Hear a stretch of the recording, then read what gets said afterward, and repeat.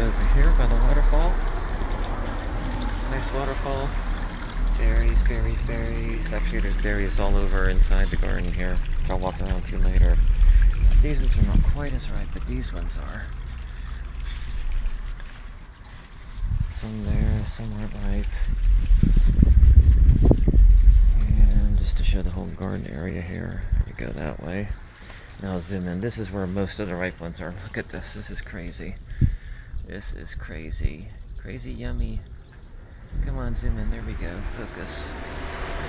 Focus. Gotta stay focused. Look at all those. So yummy looking. And I'm gonna eat all of these tonight. I'm gonna eat them all. Because that's what they're for. So, more berries, more berries, more berries. More berries, more berries. And more berries. So there we are around the other side. Um, here's my certified wildlife habitat sign. And there's bananas too. Look at that. Wow. It's bananas to go with my um, berries. And there's actually a second pod forming right there.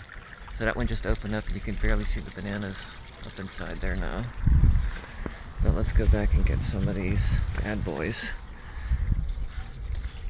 Bad boys.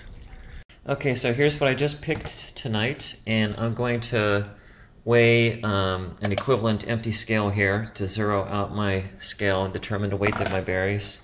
And here's the same kind of container with the berries, and it weighs 14.1 ounces, or if you prefer pounds, that's 0.882 pounds, or exactly, look at that, exactly 400 grams, right from the garden.